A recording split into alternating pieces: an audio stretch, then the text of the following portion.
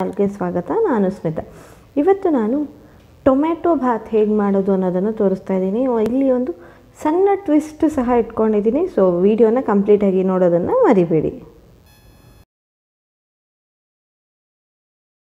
ನೀವಿನ್ನು ನನ್ನ ಚಾನಲ್ಗೆ ಸಬ್ಸ್ಕ್ರೈಬ್ ಆಗಿಲ್ಲ ಅಂದರೆ ತಕ್ಷಣ ಕೆಳಗಡೆ ಕಾಣುವಂತಹ ರೆಡ್ ಸಬ್ಸ್ಕ್ರೈಬ್ ಬಟನ್ನ ಪ್ರೆಸ್ ಮಾಡಿ. ಆ ನಂತರದಲ್ಲಿ ಪಕ್ಕದಲ್ಲೇ ಇರುವಂತಹ ಬೆಲ್ ಐಕಾನ್ನ ನೀವು ಪ್ರೆಸ್ ಮಾಡೋದ್ರಿಂದ ನಾನು ಯಾವುದೇ ಹೊಸ ವಿಡಿಯೋನ ಅಪ್ಲೋಡ್ ಮಾಡಿದರೂ ನಿಮಗೆ ನೋಟಿಫಿಕೇಷನ್ ಸಿಗುತ್ತೆ. ಕೊಡ್ತಾ ಇದ್ದೀನಿ. ಸಾಸಿವೆನೂ ಅಷ್ಟೇ ಚಟ ಚಟ ಅನ್ನೋವರೆಗೂ ಇದನ್ನು ಚೆನ್ನಾಗಿ ಮಿಕ್ಸ್ ಮಾಡಿ. ಸೊ ಇಲ್ಲಿ ನಾನು ನಿಮಗೆ ಒಂದು ಟ್ವಿಸ್ಟ್ ಇಟ್ಕೊಂಡಿದ್ದೀನಿ ಅಂತ ಹೇಳಿದೆ. ಏನು ಟ್ವಿಸ್ಟ್ ಅಂದರೆ, ನಾನಿಲ್ಲಿ ಟೊಮೆಟೊನ ಯೂಸ್ ಮಾಡ್ತಾ ಇಲ್ಲ. ಟೊಮೆಟೊ ಯೂಸ್ ಮಾಡೋ ಬದಲಾಗಿ ಟೊಮೆಟೊನ ಮಿಕ್ಸಿ ಮಾಡಿ ಅನಂತರದಲ್ಲಿ ಅದನ್ನು ಸೋಸ್ಕೊಂಡಿದ್ದೀನಿ. ಏನಕ್ಕೆ ಈ ಥರ ಮೆಥಡ್ ಯೂಸ್ ಮಾಡಿರೋದು ಅಂದರೆ ಕೆಲವೊಂದು ಸತಿ ಆ ಟೊಮೆಟೊ ಸಿಪ್ಪೆ ಆಗಿರ್ಬೋದು ಬೀಜ ಆಗಿರ್ಬೋದು ತಿನ್ನೋದಕ್ಕೆ ಇಷ್ಟ ಆಗೋದಿಲ್ಲ. ಸೊ ಆ ಥರ ತಿನ್ನೋಕ್ಕೆ ಇಷ್ಟ ಆಗಲ್ಲ ಅಂದಾಗ ಈ ಥರನೂ ಸಹ ನಾವು ಮಾಡ್ಕೋಬೋದು. ಸೊ ಇದನ್ನು ಒನ್ ಆಫ್ ದ ವೇ ಈಗ ಕೆಲವೊಬ್ರು ಕಿಡ್ನಿ ಸ್ಟೋನ್ ಇದೆ ಅನ್ನೋರು ಇರ್ತಾರೆ. ಆ ಥರ ಎಲ್ಲ ಇದ್ದಾಗ ಟೊಮೆಟೊ ಬೀಜ ಯೂಸ್ ಮಾಡೋಕ್ಕೆ ಇಷ್ಟ ಇಲ್ಲ ಅಂದವರು ಈ ಥರ ಮಾಡ್ಕೋಬೋದು. ಟೊಮೆಟೊ ಬಾತು ಈ ಥರನೂ ತುಂಬ ಚೆನ್ನಾಗಿರುತ್ತೆ. ಟೊಮೆಟೊ ಚೆನ್ನಾಗಿ ಕುದ್ದು ಕಲರ್ ಚೇಂಜ್ ಆಗುತ್ತೆ. ಆ ಥರ ಕಲರ್ ಚೇಂಜ್ ಆದಮೇಲೆ ಮಿಕ್ಕಿದ ಇಂಗ್ರೀಡಿಯೆಂಟ್ಸ್ಗಳನ್ನು ಹಾಕ್ಕೊಳ್ಬೇಕು ಇಲ್ಲಿ ಒಂದು ದೊಡ್ಡ ಈರುಳ್ಳಿನ ನಾನು ಉದ್ದುದಾಗಿ ಸ್ಲೈಸ್ ಮಾಡಿ ಹಾಕ್ಕೊಂಡಿದ್ದೀನಿ ಅನಂತರದಲ್ಲಿ ಪುದೀನ ಸೊಪ್ಪು ಹಾಕಿದ್ದೀನಿ. ಕರಿಬೇವು, ತುಂಬ ರುಚಿ ಕೊಡುತ್ತೆ ಕರಿಬೇವು. ಸೊ ಕರಿಬೇವು ಸೊಪ್ಪನ್ನು ಹಾಕ್ಕೊಂಡಿದ್ದೀನಿ ಇದೆಲ್ಲನೂ ಹಾಕಿದ ನಂತರದಲ್ಲಿ ಇದನ್ನು ಚೆನ್ನಾಗಿ ಮಿಕ್ಸ್ ಮಾಡ್ಕೊಳ್ಬೇಕು. ಮಿಕ್ಸ್ ಮಾಡಿದ ನಂತರದಲ್ಲಿ ನಾನಿಲ್ಲಿ ಎರಡು ಲೋಟ ಅಷ್ಟು ಅಕ್ಕಿನ ತೊಳೆದು ಇಟ್ಕೊಂಡಿದ್ದೀನಿ ಆಲ್ರೆಡಿ ಅದನ್ನು ಸಹ ಇದಕ್ಕೆ ಹಾಕ್ಕೊಳ್ತಾ ಇದ್ದೀನಿ.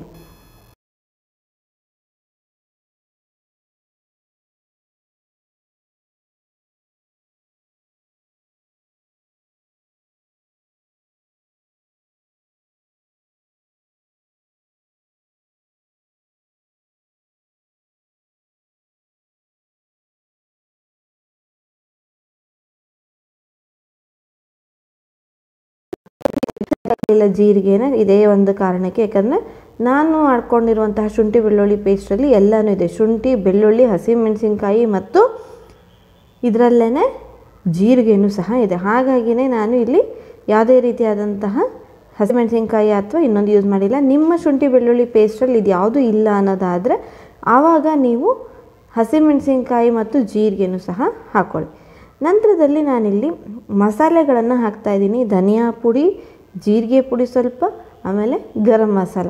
ಇದಿಷ್ಟನ್ನು ಹಾಕಿ ಆನಂತರ ಅಕ್ಕಿನ ತೊಳೆದು ಇಟ್ಕೊಂಡಿದ್ದೀನಿ ಅಂತ ನಿಮ್ಗೆ ಆಲ್ರೆಡಿ ಹೇಳಿದೆ ನಾನು. ಸೊ ಆ ತೊಳೆದು ಇಟ್ಕೊಂಡಿರುವಂತಹ ಅಕ್ಕಿನ ಹಾಕಿ ಈಗ ಮಿಕ್ಸ್ ಮಾಡ್ಕೋಬೇಕು. ಚೆನ್ನಾಗಿ ಮಿಕ್ಸ್ ಮಾಡಬೇಕು. ಎರಡು ನಿಮಿಷ ಅದೇನು ಕುದೀರು ಬರಬೇಕು.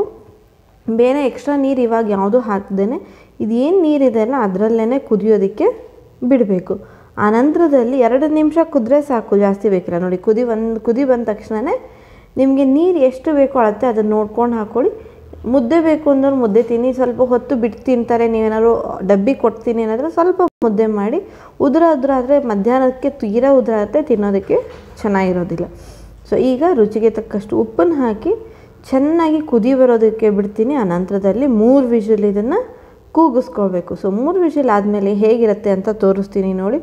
ತುಂಬ ರುಚಿಯಾಗಿರುತ್ತೆ.